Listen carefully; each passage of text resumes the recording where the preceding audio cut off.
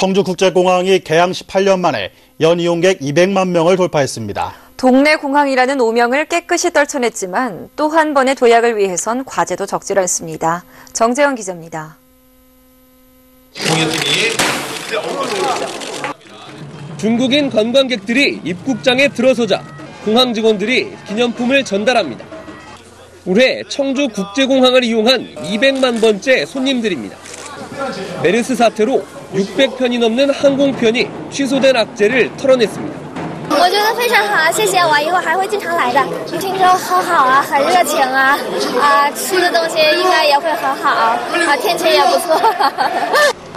개항한 지 18년, 지난 2007년 100만 명을 돌파한 지 8년 만으로 국토부 수요 예측을 2년이나 앞당겼습니다. 중국, 홍콩 등 국제노선 확장이 큰 도움이 됐고 저가 항공사 유치와 급증한 중국인 관광객들이 효자 역할을 했습니다.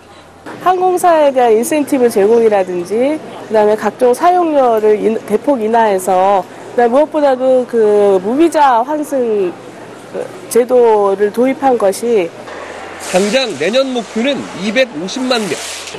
단기적으로는 최근 급증하는 일본 노선 유치가 시급하고 충남 서산 비행장의 민간 항공 유치 추진 등 대외 변수에도 대응해야 합니다.